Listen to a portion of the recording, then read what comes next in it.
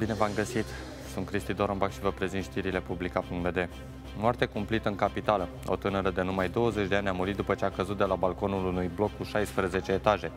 Tragedia s-a întâmplat aseară după ora 22 pe strada Piața Unirii din sectorul Buiucani. La balconul etajului 15, de unde se presupune că s-a aruncat fata în gol, polițiștii au găsit un pahar de cafea și câteva mucuri de țigară.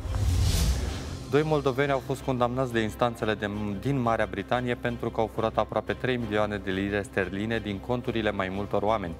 Aceștia au primit 5 ani și 8 luni, respectiv 6 ani de închisoare. Cei doi au fost arestați încă din luna februarie anului trecut. Medicamentele se vor ieftini în scurt timp în urma unei decizii aprobate ieri de guvern. Potrivit documentului, tarifele pentru înregistrarea și reînregistrarea preparatelor și a dispozitivelor medicale vor scădea cu 25%. Guvernul a mai decis crearea Centrului pentru Achiziții Publice Centralizate în Sănătate în cadrul Ministerului de Profil. Această structură urmează să excludă deficiențele în mecanismul de achiziționare a medicamentelor. Republica Moldova va primi 550.000 de euro din partea Guvernului României sub formă de finanțare nerambursabilă. Banii sunt destinați pentru elaborarea proiectului tehnic pentru lucrările de construcție a gazoductului Ungheni-Chișinău. Un memorandum în acest sens a fost aprobat în cadrul ședinței de ieri a Guvernului de la București. Caz șocant în Germania. Un bărbat de 43 de ani a fost eliberat după ce a fost ținut captiv de familia sa timp de 30 de ani. Vecinii, vecinii au alertat poliția după ce au auzit gemetele acestuia în încăperea în care era închis.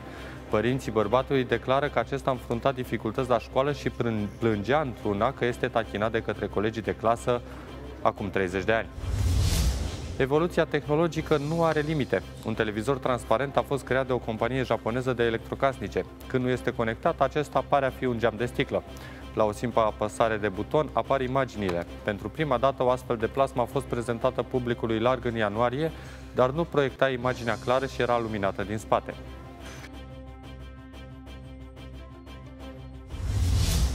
Dacă ați fost martorul unei situații interesante ce poate deveni o știre, așteptăm imagine în secțiunea știrea ta de pe publica.md.